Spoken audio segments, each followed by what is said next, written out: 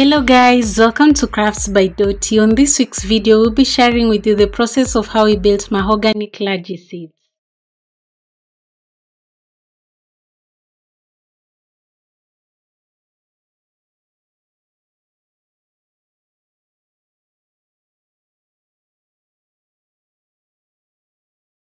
The project required lots of 5.5 by 10 inch mahogany pieces. To save on cash, we decided to buy a beam measuring 12 by 6 inches, 10 feet long. That way, we ended up saving 40% of the cost that would incur if we bought single pieces. The beam was split into 3 quarter by 6 inch pieces using heavy duty table saw. We did all this at Gikomba where we purchased all the wood for this project.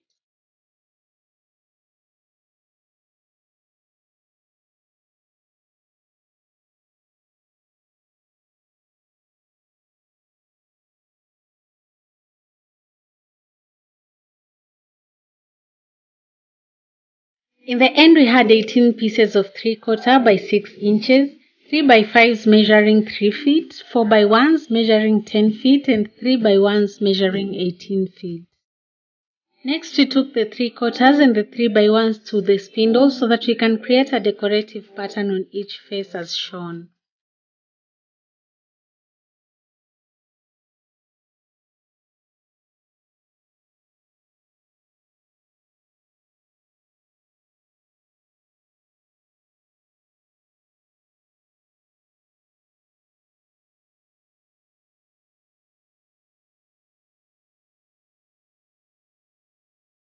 On the 3 by 5s we drew the design that we wanted for the armrests and had them cut on the bandsaw.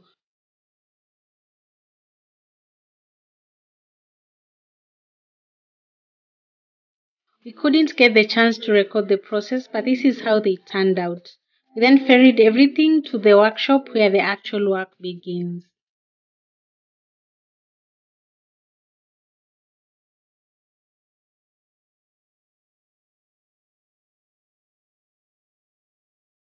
We started off by cutting the 5 by 1s into the required size using a meter saw.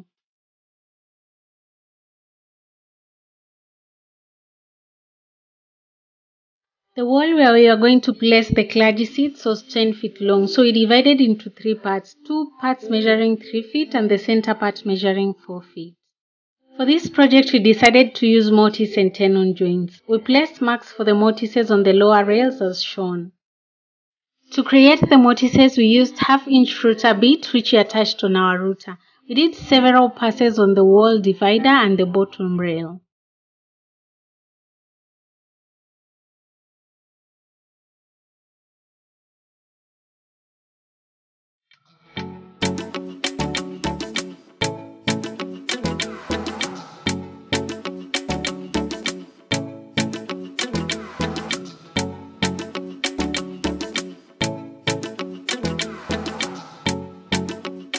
For the tenons, we did mark and set our table saw blade to cut on the outer part of the mark as shown.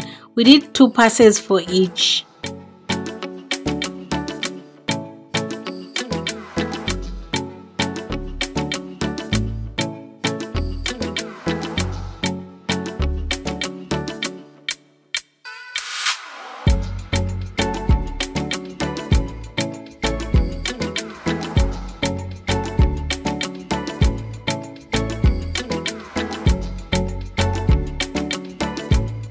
Once the passes were done, we removed the two top leaves, leaving us with a tenon at the center. We repeated the process until all the pieces were done. We then removed the excess using mallet and a planer blade.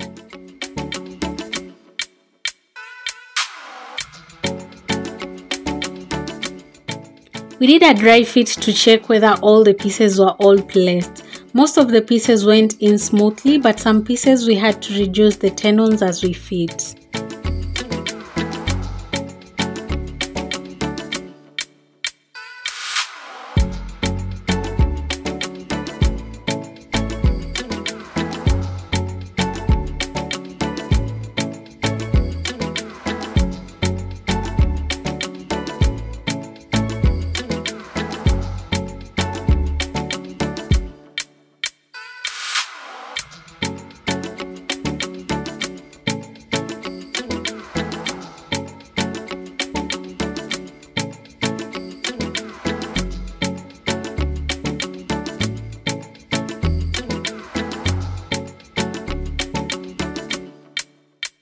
Once we were done, we worked on the middle part, then progressed on to work on the third part.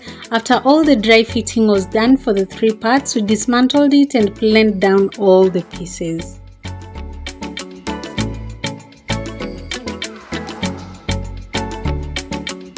After all the planing was done, we used wood glue and 1 inch nails which we did reduce by cutting the nail heads using pliers so that we ended up having each nail measuring 3 quarter inch.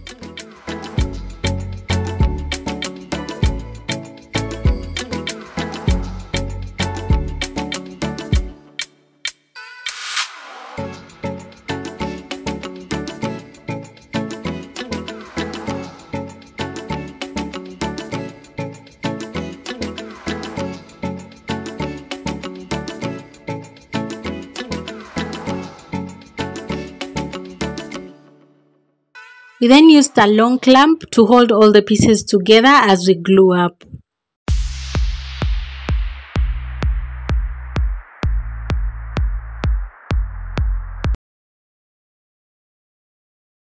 For the middle part we used only glue without nails but we had to use the nails for the outer frame to make it firm. We left the whole piece to dry overnight and when we came back the next day it was solid and nice. We began working on the outer decorative frame which we did by attaching the 4x1s.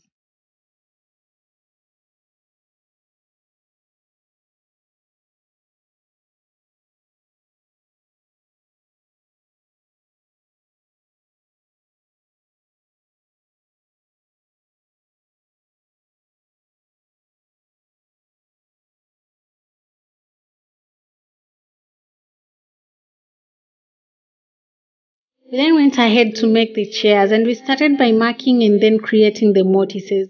For the seat rails, we used 2 by 1s and 8 by 1s respectively.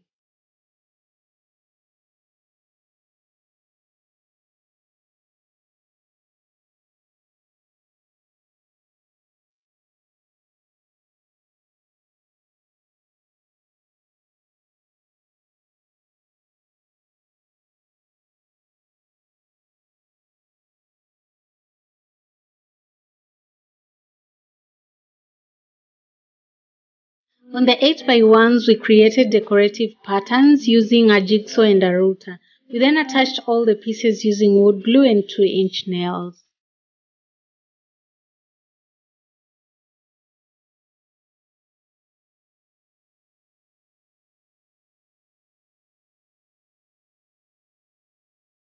For the arms we used a round over bit to kill all the sharp edges on each arm then attached them using 3 inch screws.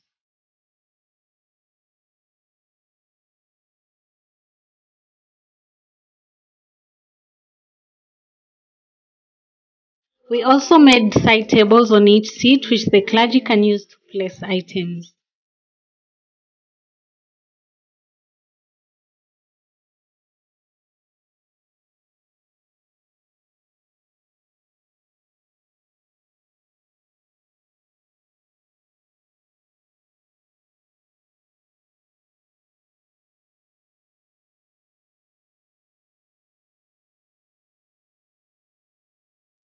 On the meter saw we created two half lap joints, then used a rough file to clear the joints, then attached them together to make a simple cross.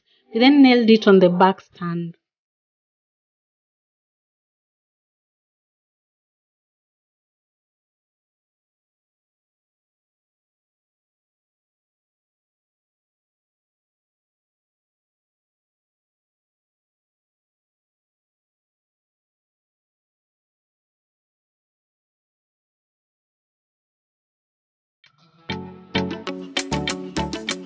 To polish up everything, we did a light coat of mahogany stain. We then made the back seats and back pillows. We then painted it up with 5 coats of clear varnish, sanding in between each coat.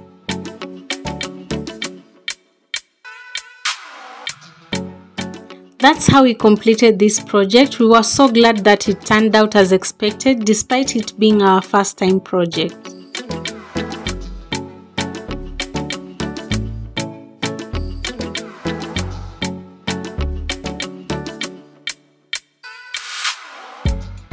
If you want such seats for your church, give us a call and we'll be glad to work with you.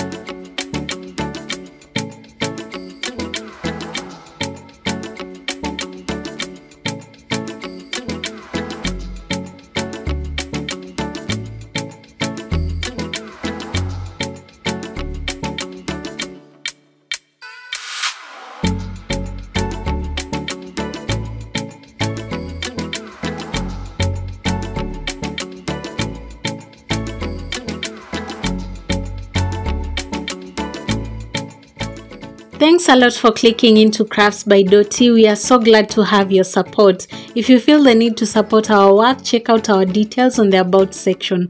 Until next time, bye bye.